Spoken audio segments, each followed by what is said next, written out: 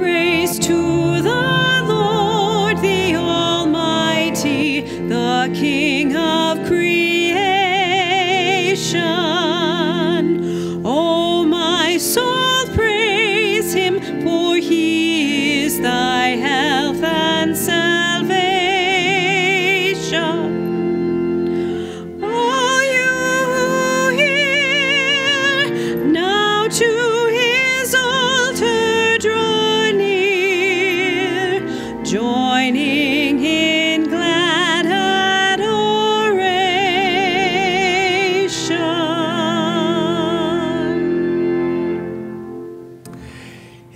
Father, and the Son, and the Holy Spirit, the Lord be with you. Well, today we come together on a very, very cold fifth Sunday of Ordinary Time. As we uh, come together, we come uh, together in the warmth of God's love, and we begin our celebration by giving glory to God. Glory to God in the highest. Glory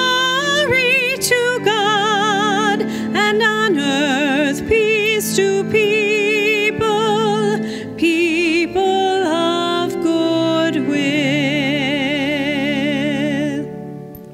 Let us pray. Keep your family safe, O Lord, with unfailing care, that relying solely on the hope of heavenly grace, they may de- be defended always by your protection. Through our Lord Jesus Christ, your Son, who lives and reigns with you in the unity of the Holy Spirit, one God, forever and ever.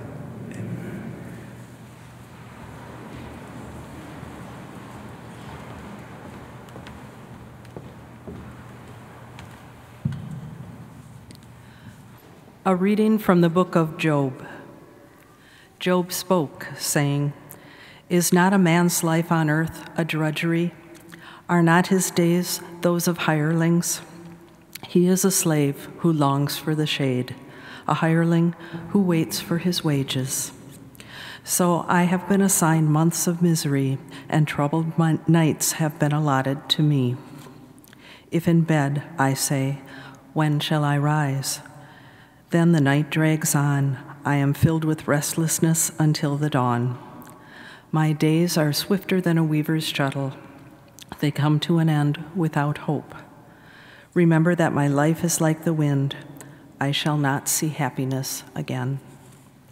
The word of the Lord.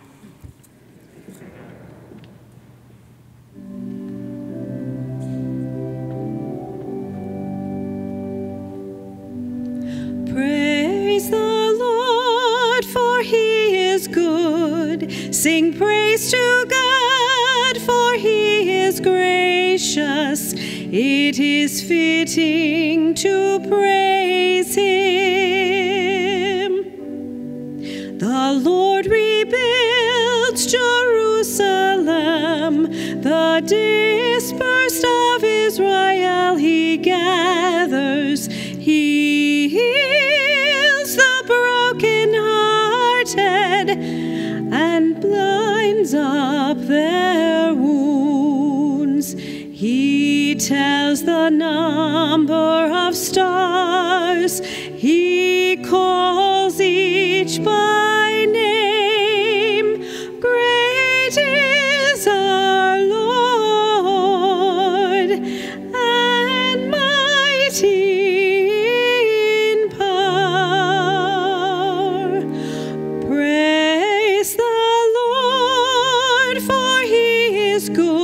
Good. Sing praise to God, for he is gracious. It is fitting to praise him.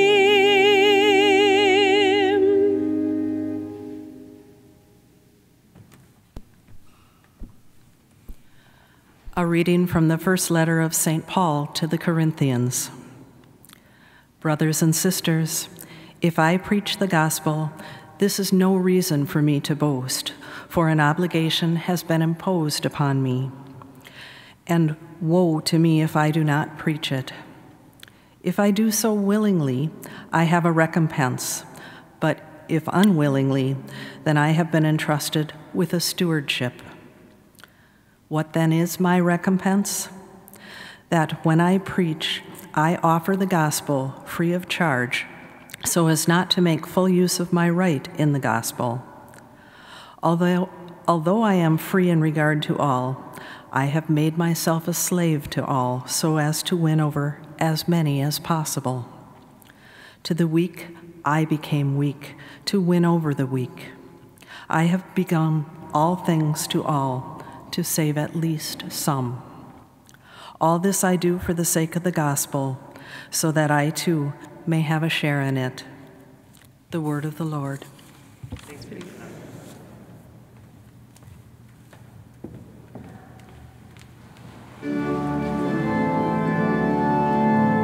Alleluia,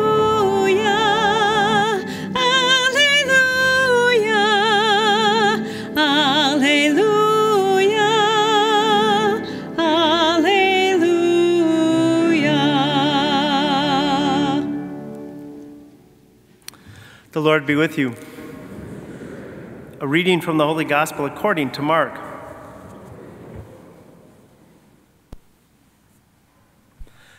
On leaving the synagogue, Jesus entered the house of Simon and, and Andrew with James and John. Simon's mother in law lay sick with a fever. They immediately told him about her. He approached, grasped her hand, and helped her up. Then the fever left her, and she waited on them. When it was evening after sunset, they brought to him all who were ill or possessed by demons. The whole town was gathered at the door. He cured many who were sick with various diseases, and he drove out many demons, not permitting them to speak because they knew him. Rising very early before dawn, he left and went off to a deserted place where he prayed. Simon and those who were with him pursued him, and on finding him said, Everyone is looking for you. He told them, Let us go, let us go on to the nearby villages, that I may preach there also. For this purpose have I come. So he went into their synagogues, preaching and driving out demons throughout the whole of Galilee. The Gospel of the Lord.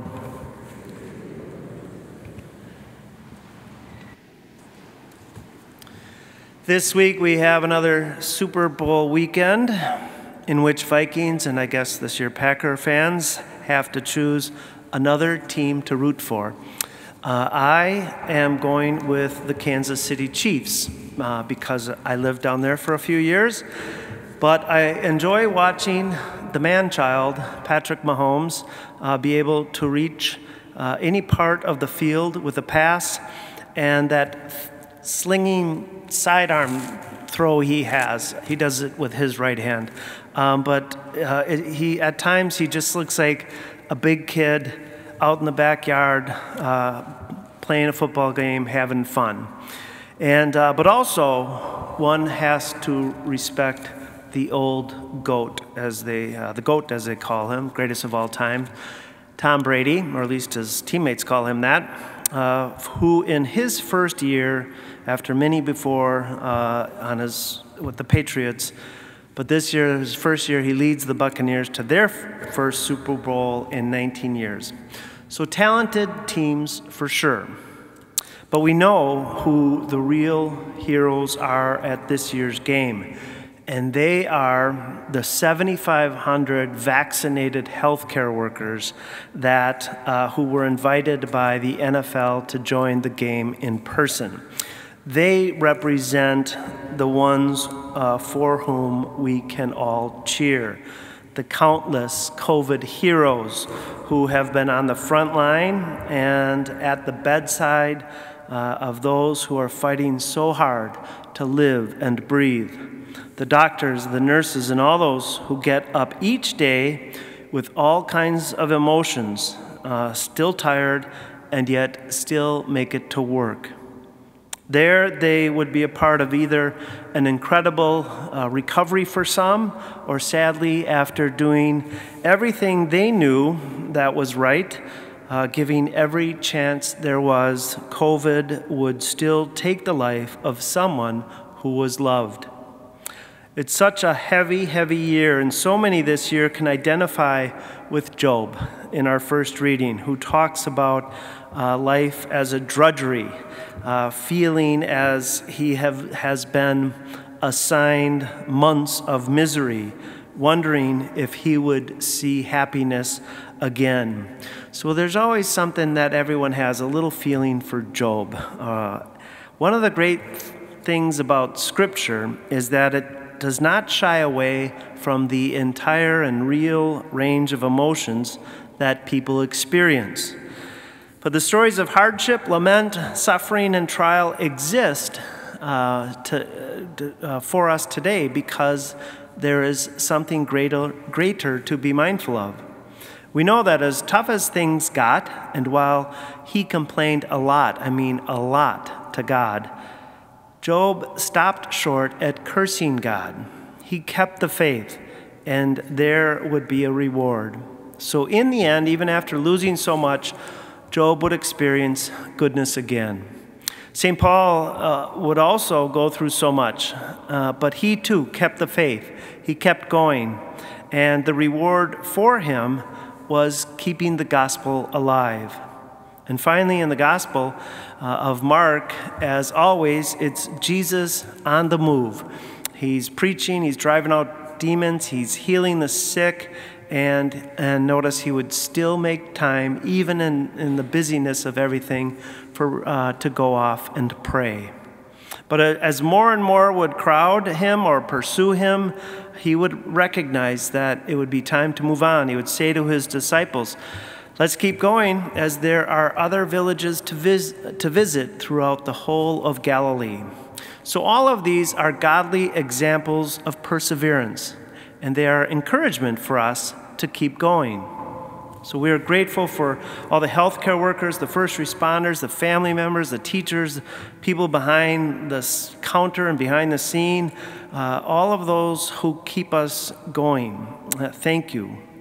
And while we are understandably uh, more hopeful these days with the arrival of the vaccines, it is still very, uh, very heavy for so many who are still in the midst of their own drudgery. But again, the reward uh, of perseverance is something better than a Super Bowl. It is the lives saved, the families consoled, and so many uh, good points made for humanity. All the unsung heroes in our world show us a power that we have in ourselves. And just as Jesus kept on going with his grace and witness, may we do the same, knowing that there is a reward and remembering something that Job eventually learned that no matter what, if we keep the faith, the faith will keep us.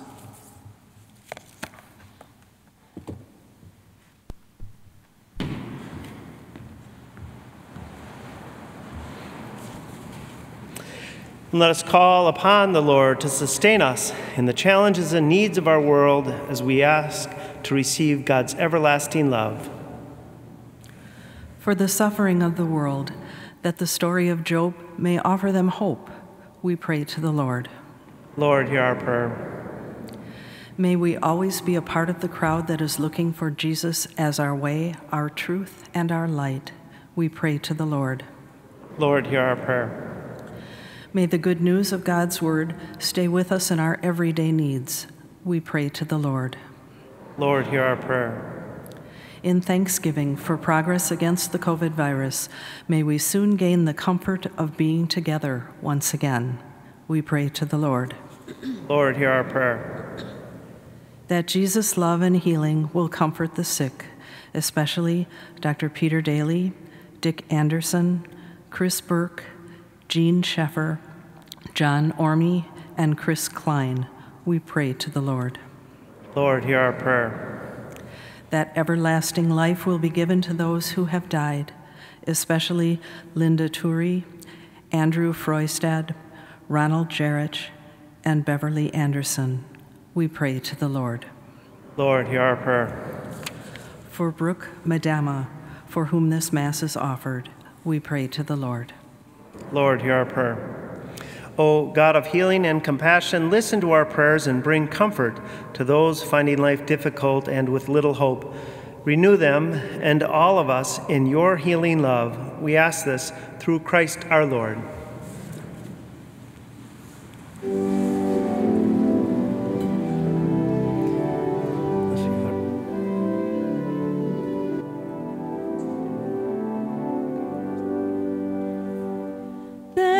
There's a wideness in God's mercy, like the wideness of the sea. There's a kindness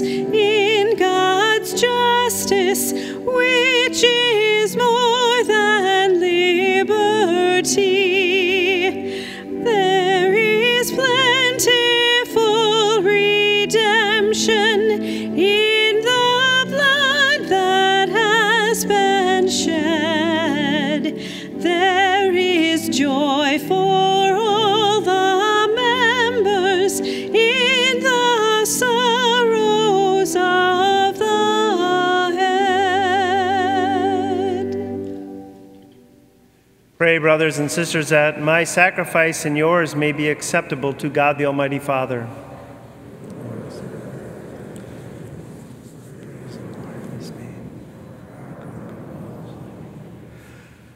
O Lord our God, who once established these created things to sustain us in our frailty, grant, we pray, that they may become for us now the sacrament of eternal life, through Christ our Lord. The Lord be with you. Lift up your hearts. Let us give thanks to the Lord our God. It is truly right and just, our duty and our salvation always and everywhere, to give you thanks, Lord, Holy Father, Almighty and eternal God.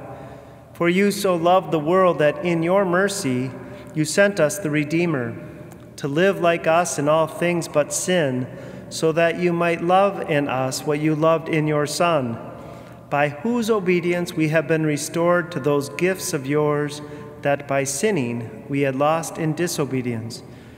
And so, Lord, with all the angels and saints, we too give you thanks, as in exaltation we acclaim.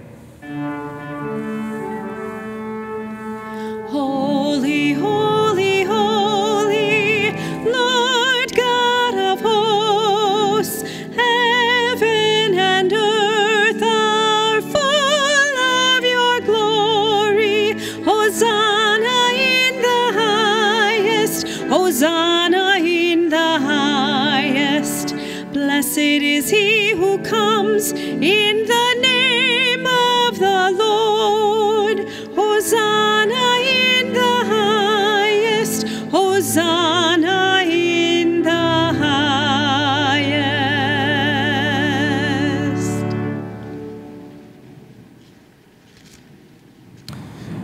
You are indeed holy, O Lord, the font of all holiness. Make holy, therefore, these gifts, we pray, by sending down your Spirit upon them like the dewfall, so that they may become for us the body and blood of our Lord Jesus Christ. At the time he was betrayed and entered willingly into his passion, he took bread and, giving thanks, broke it and gave it to his disciples, saying, Take this, all of you, and eat of it, for this is my body, which will be given up for you.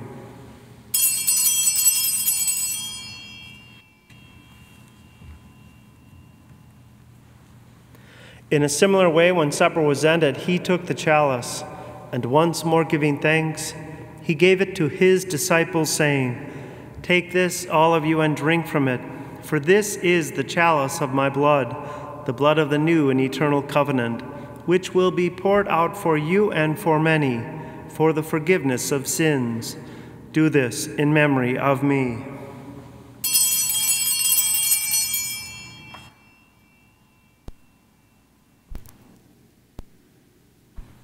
The mystery of faith.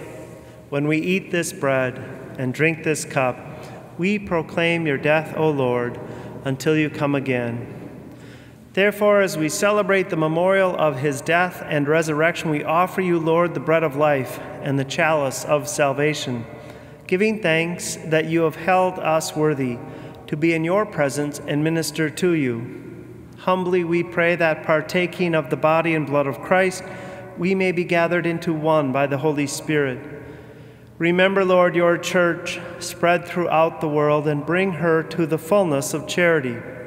Together with Francis, our Pope, and Bernard, our Bishop, Andrew's assistant, and all the clergy, remember also our brothers and sisters who have fallen asleep in the hope of the resurrection, and all who have died in your mercy. Welcome them into the light of your face. Have mercy on us all, we pray, that with the Blessed Virgin Mary, Mother of God, with blessed Joseph, her spouse, with the blessed apostles and all the saints who have pleased you throughout the ages, we may merit to be co heirs to eternal life, and may praise and glorify you through your Son, Jesus Christ.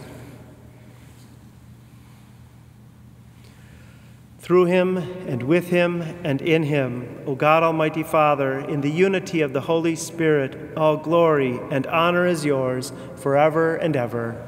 Amen. At the Savior's command, informed by divine teaching, we dare to say, Our Father, who art in heaven, hallowed be thy name. Thy kingdom come, thy will be done, on earth as it is in heaven. Give us this day our daily bread, and forgive us our trespasses, as we forgive those who trespass against us. And lead us not into temptation, but deliver us from evil.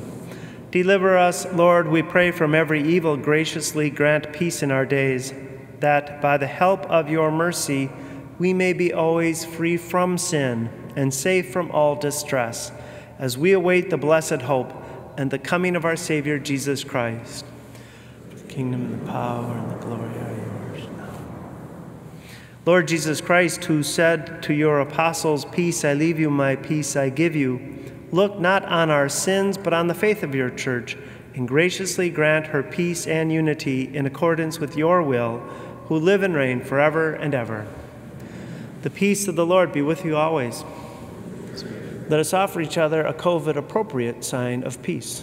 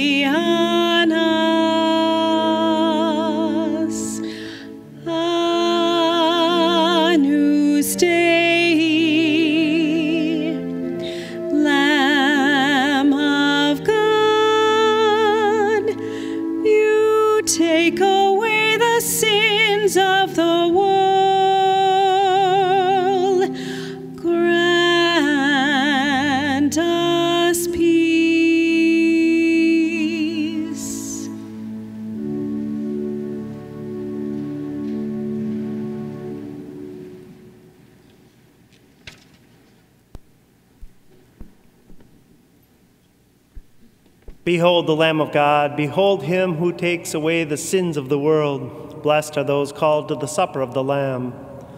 Lord, I am not worthy that you should enter under my roof, but only say the word, and my soul shall be healed.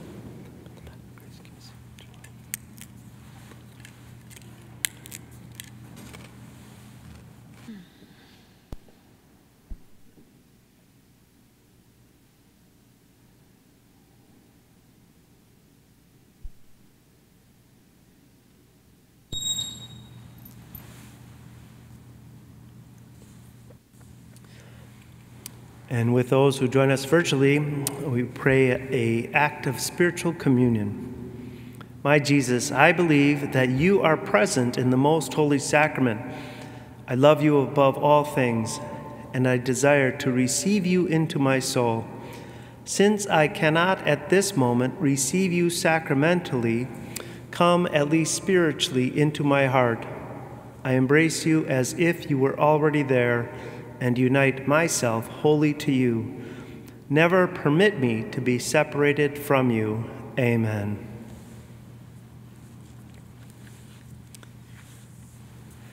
And let us pray.